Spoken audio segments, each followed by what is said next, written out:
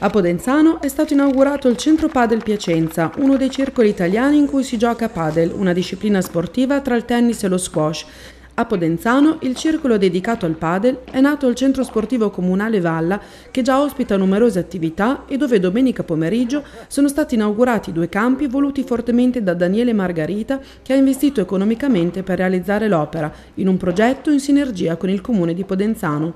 L'attività del Centro Padel Piacenza sarà portata avanti insieme al campione italiano e bronzo agli europei Simone Cremona, pontenurese, che ne curerà i corsi e che domenica si è impegnato a fare innamorare i piacentini di questo sport. L'inaugurazione è stata l'occasione per il sindaco Alessandro Piva di candidare ufficialmente Podenzano ad ospitare la nazionale maschile di padel per il ritiro in vista dei mondiali che si terranno in Paraguay dal 28 ottobre al 4 novembre 2018, una candidatura che il CT della nazionale Gustavo Spector, presente all'evento podenzanese, trasferirà alla Federazione Italiana Tennis.